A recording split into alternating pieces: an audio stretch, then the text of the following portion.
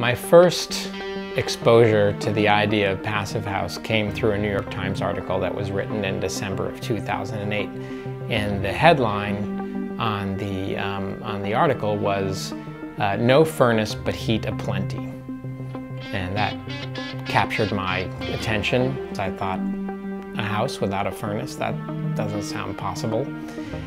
And the more I read about it, the more I understood that there was an idea out there that you actually could create a building without a conventional heating system. That to me is, is a fundamentally different way of thinking about a building. This is America. We like to build things big and uh, it's ridiculous the size of many new homes being built today.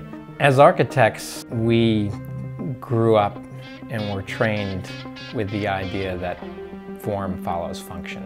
In addition to function, there is a relationship between form and energy. We're still building very mediocre houses which are built based on the energy and environmental thinking of a quarter century ago. The passive way is always a way which uh, needs uh, the least amount of energy.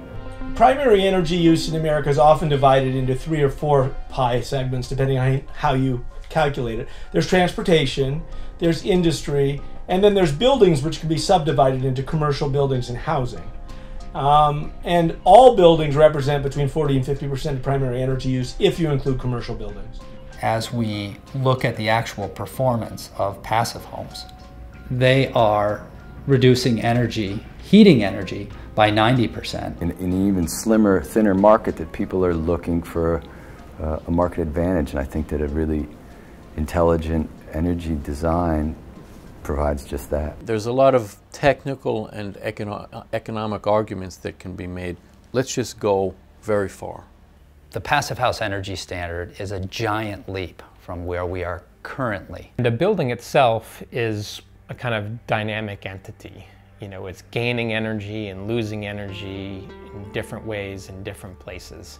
Um, what the Passive House idea in establishing this energy budget says is, well, if you choose to lose a lot of energy with this one component, realize you got to make it up somewhere else. We live in interesting times, and we are going to make important changes in the way we live and the way we build houses, whether we want to or not.